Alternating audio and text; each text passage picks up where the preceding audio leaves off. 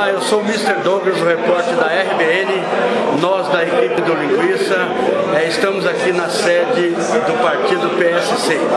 Após uma reunião realizada aqui, eu estou aqui com o deputado Gilson de, Souza, que é um dos deputados é, praticamente que tem muita coisa para nos dizer a respeito da greve dos professores. Deputado, me diz uma coisa para mim.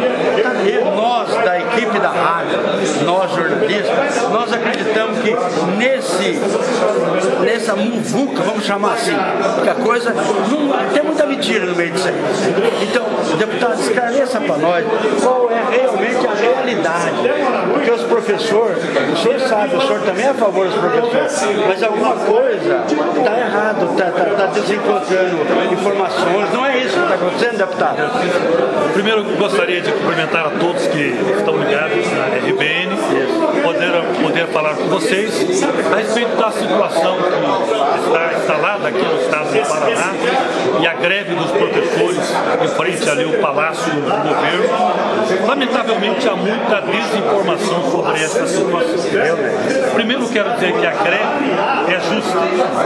A reivindicação, as reivindicações dos professores, elas são legítimas. Professores não estão reivindicando nada de anormal. Estão reivindicando que suas conquistas sejam mantidas e que tudo eles trabalharam, eles possam manter isso. Não estão pedindo nada de absurdo. Inclusive os seus vencimentos que estão atrasados, inclusive os retroativos para as escolas. Então, eu quero dizer que é justa e tem o nosso Aonde está a desinformação de tudo isso? O governador do estado enviou um pacotaço, um conjunto de projetos para a Assembleia Legislativa. E no, no meio desses projetos, de fato, havia muitos projetos que tirariam dos professores muitos benefícios, como o quinquênio, como a anuênio, como o PDE, como a questão de vale transportes. O governo iria tirar muitos desses benefícios. Eu quero deixar claro o PSC, através da nossa liderança, é, deputado Paranhos, fez um pronunciamento na Assembleia Legislativa, no plenário, se posicionando contra esse pacote. O PSC se posicionou contra esse pacote. E nós fizemos uma proposta para que o PSC pudesse fazer uma intermediação junto com o governo, o governador do Estado e os sindicatos dos servidores públicos. Foi esse o nosso posicionamento. Em nenhum momento o PSC votou a favor deste projeto. Até porque o projeto foi retirado pelo governador do Estado. Ele não passou pela votação. Muita gente ainda está confusa com relação a essa situação. A informação diz que é, esse projeto foi votado, fulano foi contra, outro foi a favor. Então o projeto não foi votado, foi tirado do plenário, foi isso? Sim. É isso? Isso o próprio governador retirou. O que eles estão confundindo é a respeito de uma comissão geral, onde colocaram os deputados que votaram a favor da comissão geral como se fossem favoráveis ao pacote do governo. Isso são coisas distintas.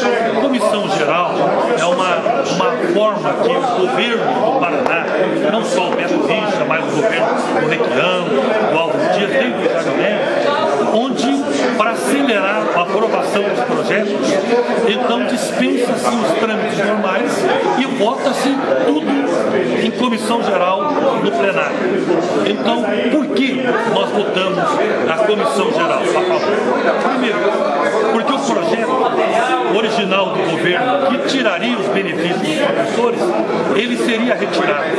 Já havia alguma coisa. O que seria apresentado era um substitutivo geral, que era um outro projeto onde não contemplaria mais nenhum tipo de situação para os professores. Então, isso nós votamos. E nesse substitutivo geral, que era um outro projeto, nós também iríamos discutir, e ainda não havia um consenso na própria bancada do PSC, votaríamos a favor do substitutivo geral. O que houve? Nós entendemos que há, no meio desse grupo, uma questão política, que eu não atribuo aos servidores e nem aos professores. Mas alguns partidos que acabaram se utilizando disso para fazer uma briga política. Tanto que o projeto já foi retirado e muitos ainda desinformados continuam falando que nós estamos votando o projeto pacotaço do governo do Estado. Nós da rádio acreditamos, a nossa equipe, que realmente tem muito desencontro de desinformações e a gente sabe que a bancada do PSC é uma das maiores bancadas.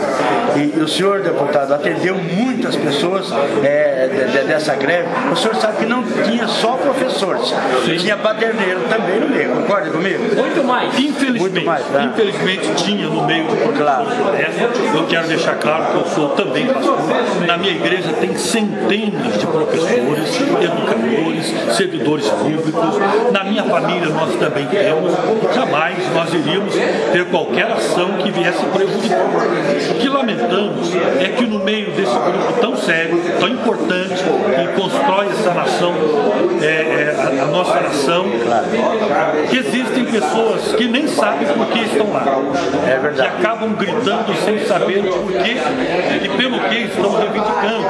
Pessoas que, é, é lamentavelmente, alguns, no seio de uma situação, que tomaram como refém a mãe de um dos deputados. Eu fiquei sabendo disso aí. E disseram, nós não vamos largar a é, enquanto seu filho não vier conversar.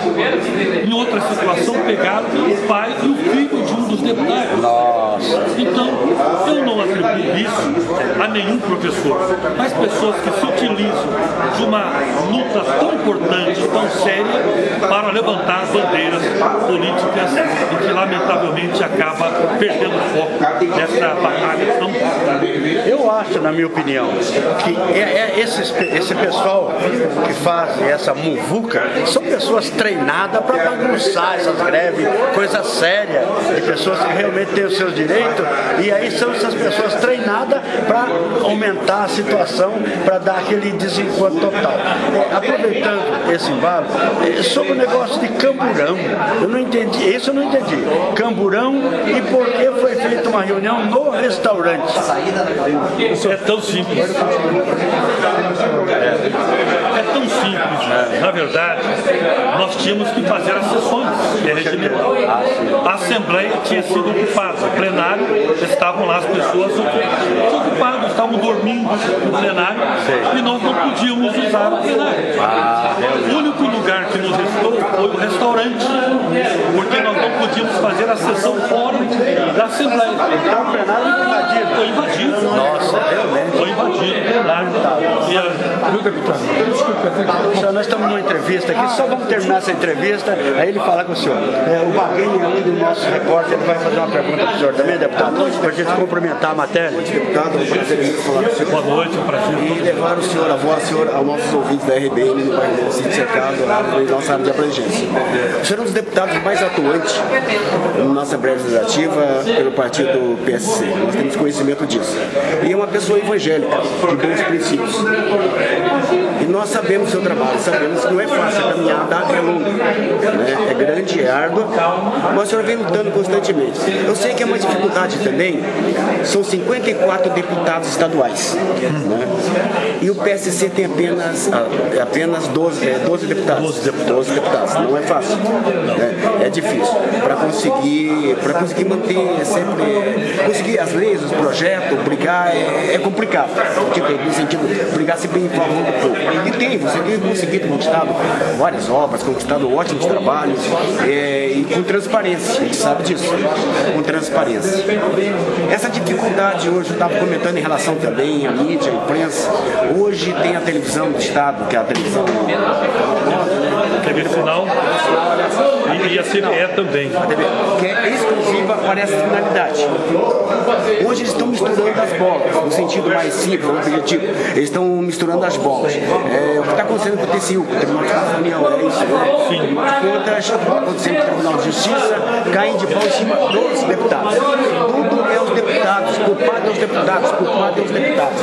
Então eu acho que o governo deveria dar um pouco mais de espaço para que os deputados explicassem e levassem a conhecimento do público realmente, aquele deputado realmente que não, que não é, que não é contra, que não é contra a baderna, que é a favor do melhor, sempre do melhor. Ele tem direito. É que, é que ele está comentando em relação a isso.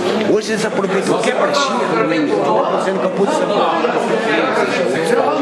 está aproveitando, se aproveitando da ocasião.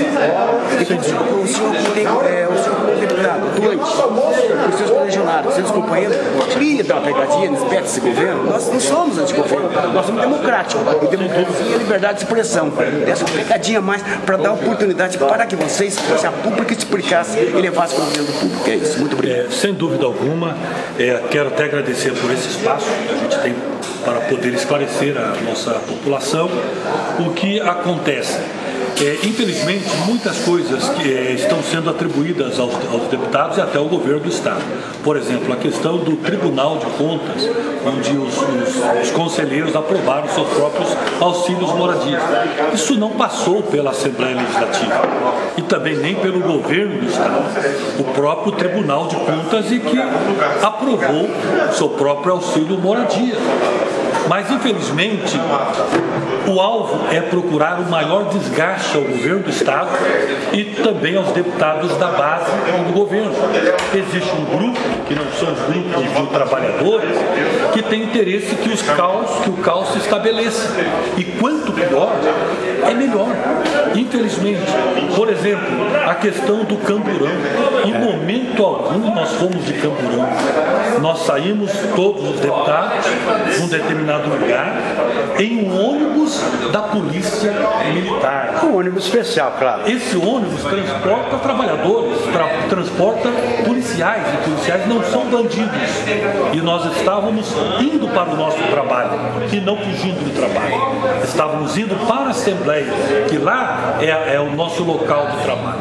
Infelizmente as coisas foram tão distorcidas e pintaram a gente como se fosse bandidos. E me faz lembrar, como eu sou pastor, de uma passagem muito interessante, quando a multidão toda aclamava um sujeito chamado Barrabás, que era o ladrão.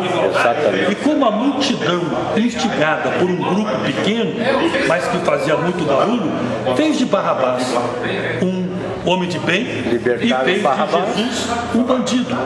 Aí alguns dizem que a voz do povo é a voz de Deus. Mas, lamentavelmente, muitos maus, muitos que são maus, gritam, fazem barulho e os bons se calam.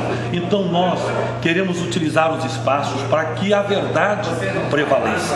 A Gazeta do Povo, agora na sua última edição, domingo passado, dia 22, acabou de uma certa forma esclarecendo um pouco e mostrando que o pacote do governo já não existe mais. Então, devagarzinho, está aparecendo a verdade. Eu acredito que a verdade ela prevalecerá sobre qualquer mentira. Então agradeço de coração a oportunidade de poder estar aqui é, falando com vocês e esclarecendo a família Nós agradecemos, deputado. Muito obrigado. Boa sorte com você. Bom, eu quero deixar aqui esse espaço livre da RBN para o deputado, a gente vai conversar mais sobre esse assunto, que é um assunto muito polêmico, que está criando muita polêmica, e esse desencontro total, eu acho que o deputado poderia explicar isso também é, em outras ocasiões. Sem dúvida. Então eu deixo a rádio a RBN à sua disposição, o espaço está livre. Aqui do, do centro de Curitiba, estamos aqui na sede do PSC, com o deputado Gilson, deixa suas considerações finais. E muito obrigado pela entrevista. Que Deus abençoe. Eu agradeço imensamente mais uma vez esse espaço e eu, como parlamentar, que fui eleito legitimamente com voto de 35 mil paranaenses, eu tenho o dever, a obrigação de falar sobre as minhas atitudes. Eu posso responder por aquilo que fiz mas não posso responder por aquilo que não fiz. Em momento algum eu votei contra professores, em momento algum eu votei a favor do pacote do governo, até porque não foi votado, foi retirado. Esta é a verdade. Alguns preferem acreditar na mentira, porque a mentira repetida por diversas vezes, ela é tida como verdade. Mas eu acredito que a verdade sempre prevalecerá. Parabéns, professores, parabéns, servidores públicos, pela luta de vocês, que é correta, que é digna e que Deus possa abençoar todos vocês. Muito obrigado, família paranense. Muito obrigado. Aqui é Mr. Douglas para o Bom Dia Cidadão da RBN 98.3. Mr. Douglas para a RBN com vocês. Apoio e câmera Júlio Eros. Deputado, valeu, muito obrigado. E boa sorte.